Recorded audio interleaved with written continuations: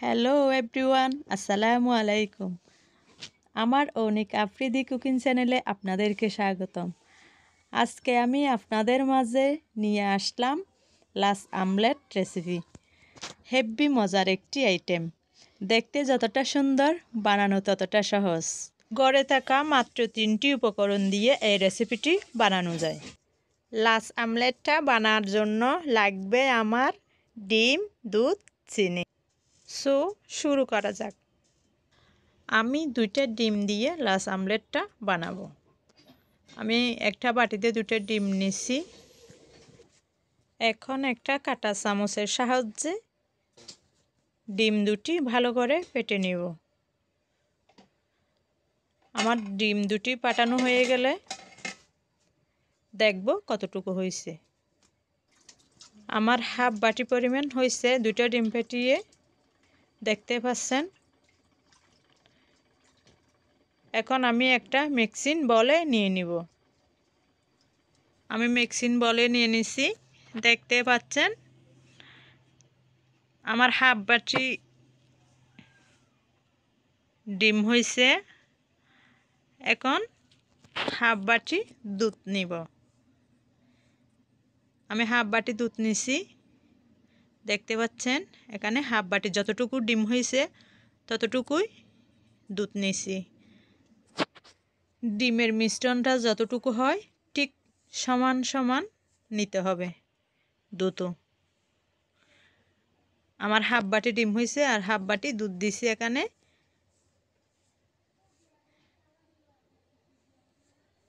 এখন দুধ আর ডিমের মিশ্রণটা একসাথে ভালো করে মিক্স করে নিব।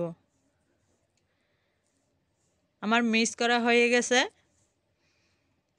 এক চামচ চিনি দিব।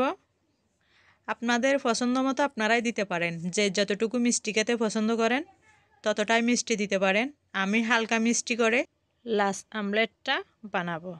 একটা বাটিতে তেল ব্রাশ করে নিচ্ছি এখন। ওখানে ডিম আর দুধ চিনির মিশ্রণটা ঢেলে দিছি। আমি চুলায় একটা ডেকচি বসিয়ে নিছি। ডেকচির মাঝে অল্প পানি দিছি, একটা স্ট্যাং বসাই দিছি। দেখি কি অবস্থা। পানিগুলো ফুটতেছে, দেখতে পাচ্ছেন? এই পর্যায়ে আমি বাটিটা বসাই দিব। আমি বাটিটা বসাই দিছি, এখন আবার ডাকনা দিয়ে ডেকে দিব পঁচিশ মিনিটের জন্য। আমি আবার ফিরে আসব, পঁচিশ মিনিট পর চুলোটা লো হিটে রাখব। আমি ফিরে আসছি পঁচিশ মিনিট পর। দেখি কি অবস্থা। একটা কাটি নিয়ে চেক করে দেখব।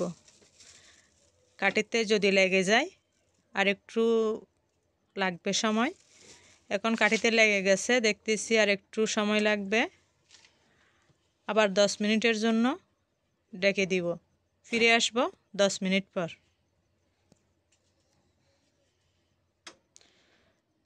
আমি দশ মিনিট পর ফিরে আসছি, দেখতেছি। একদম ক্লিন হয়ে আসছে কাঠিটা। এখন আমি বাটিটা নামিয়ে নিছি। এখন একটা চাকু দিয়ে চারপাশে ছাড়িয়ে নিচ্ছি হালকা করে। তারপর একটা সরানো প্লেটে উল্টিয়ে আপনাদেরকে দেখাচ্ছি। প্লেটটা আমলেটের উপর ডেকে দুই পাশে ধরে উল্টিয়ে নিব। দেখা যাক কি অবস্থা আমার আমলেটের। দেখতে পাচ্ছেন কতটা সুন্দর হয়েছে আমার লাস্ট আমলেটটা।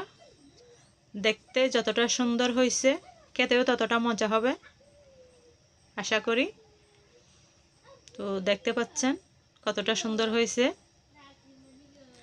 আমি একটা চাকু দিয়ে এক পিস কেটে আপনাদেরকে দেখাবো ভিতরটা কীরকম হয়েছে দেখি ভিতরটা কতটা পারফেক্ট হয়েছে সেটা? দেখেন। কতটা সুন্দর হয়েছে ভিতরটাও।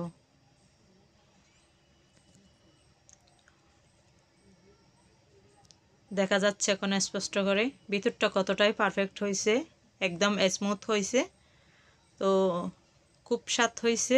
আমি খেয়ে দেখছি, আপনারাও লাস্ট আমলেটটা বানিয়ে খেয়ে দেখবেন?